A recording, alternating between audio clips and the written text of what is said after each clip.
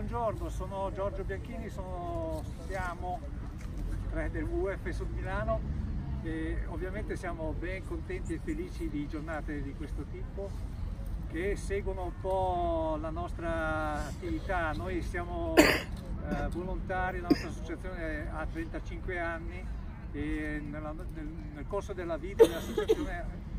siamo riusciti a mettere o far mettere migliaia di piante e ovviamente eh, siamo ben contenti che questa tradizione prosegua anche perché alla luce delle tematiche planetarie il metodo più efficace più più efficiente per eh, minimizzare i cambiamenti climatici è ancora l'albero come cattura di CO2 quindi voi pensate che ad esempio l'ultimo, poi mi fermo, però faccio presente che l'ultimo eh, rapporto, quello che dice che non dovremmo superare un grado e mezzo di, di, di i gradi per, per evitare catastrofi eh,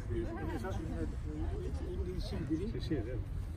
prevede che si debbano mettere ogni anno per dieci anni una eh, foresta di superficie pari a quella del Belgio, okay?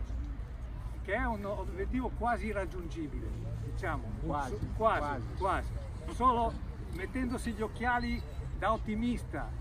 faremo una cosa del genere. Per cui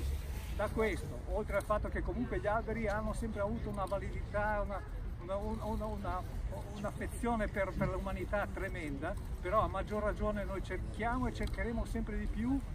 di mettere giù piante e difendere quelle che ci sono in tutte le loro varie eh, declinazioni. Poi oggi siamo particolarmente contenti che siamo riusciti a fare una cosa così e quindi eh, spero e mi auguro che una collaborazione veramente carina e ringraziamo ovviamente l'amministrazione comunale, speriamo che queste cose poi eh, si, si moltiplichino, cioè questi devono essere solo esempi di qualcosa che deve essere invece virtuoso e proprio distribuito in modo capillare. Se poi avete voglia di vedere qualche nostro, qualche nostro esempio, eh, abbiamo, stiamo bene o male gestendo 5 aree naturalistiche nel sud-est Milano, una è a San Donato ed è al di là della, della, della Paolese. Venite, ci mettiamo d'accordo e facciamo una, una visita tutti assieme. Grazie.